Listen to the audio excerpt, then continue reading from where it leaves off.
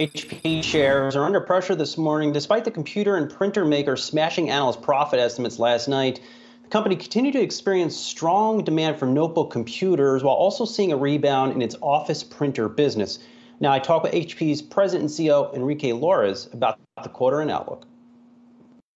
So first of all, uh, thank you, Brian, to, for having me here. It's always great to, to see you. As you said, we had an exceptional quarter double-digit growth both in top line, in, revenue, significantly above market expectations. We also increased guide for the rest of the year. So I don't think this was a surprise. I think we just executed and did what we said we were going to do. And I'm really pleased with the progress we have made this quarter. Well, I'll tell you what surprised me. It was the commercial printing side of the business. The units up 22%. In the first quarter, when we talked, units were down 6%. So why the comeback? Well, we, we were expecting the office business overall to start recovering as people would be going back to the office and offices would be reopening. And we are starting to, to see some of it. We still think it will be stronger at the end of the year, but this is what this is what is behind this recovery you're seeing. What are you hearing from those enterprise customers? What are they buying? Are they upgrading their entire office? Are they buying new office supplies for printers? What are they doing? What they are really doing is trying to improve the experience for their employees because they want them to go back to the office. And therefore, they have realized that they need to invest again in the equipment that employees will be using in the office, whether it's printers, whether it's PCs. They really have a big need to do that. And this is what we are seeing, which is also driving the acceleration of the demand that we are starting to see on the commercial side of PCs. Within the consumer side of the business, in, in the personal systems segment, you aren't hurt by the chip shortage? I mean, those sales were up 72%. We, both in consumer PCs and commercial and consumer printers, we are up more than 70%. And I would say that the issue that we are seeing in, in components is an industry-wide problem. And if I had to choose, I always prefer to have an issue like that, which is driven by how strong the demand for our products is. What we are demonstrating both with the strong results we had this quarter, but also with the increase on guide, is that we know how to manage this situation. During the last months, we have made a lot of changes across the company to be able to manage this situation effectively. We have increased level of inventories in a, in a few areas. We have signed long-term agreements with some key suppliers. We have redesigned our tools and processes. So we have made a lot of changes that are allowing us to manage this situation effectively. So you don't think we're up against seeing laptop shortages anytime soon? Well, we continue to see demand stronger than supply. But the fact that we were able to increase the guide for the rest of the year shows that we are confident in our ability to continue to deliver strong results for the foreseeable future. What are you hearing from, from school districts? Yeah, this is we're talking to a lot of executives. This is going to be a different back to school season in large part because there was no back to school season last year. How does that impact a company like HP?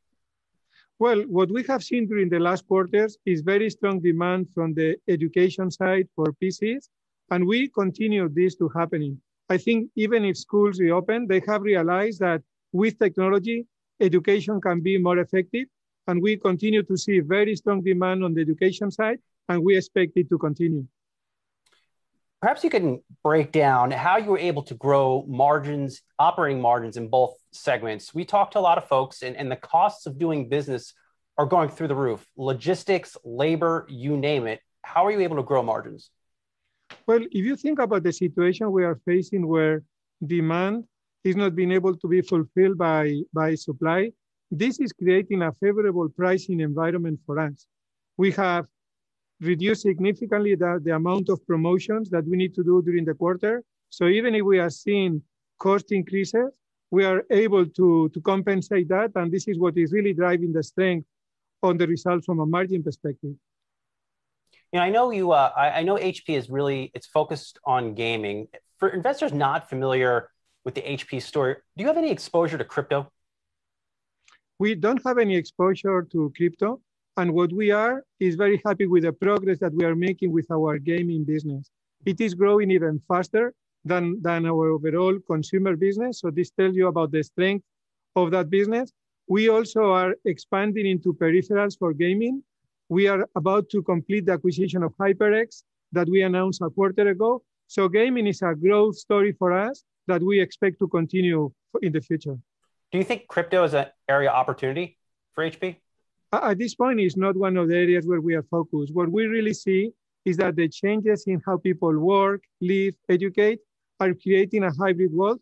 And this is really the focus for the company. How do we continue to deliver products, solutions, and services that will make our customers to really be successful in this new environment? You know, we, uh, you and I have talked throughout the pandemic, and it's it's safe to say that we are rounding the corner in the pandemic. And you've mentioned a hybrid work model. How does that model impact an HP two, three, four, five years down the line? We, we think that the pandemic has opened tremendous opportunities for us to continue to grow. When we think about the new ways of working, of learning, of getting access to, to healthcare, they are all opportunities for us to continue to grow. If you think about how companies will have to continue to enable their employees to work from home, even if only part of the time, how kids will have to will do work or the homework using computers, using PCs, how, I, how we can connect in a secure way, printing at home with printing in the office, all of them are opportunities for us to create new products, new services. And if on top of that, you think about the changes happening in the supply chain space, where companies are looking for more flexible supply chains to produce locally, this is also opening opportunities for us in 3D printing, in industrial printing, all segments where we are starting to see growth again that will be big drive, drivers of growth for the company in the future.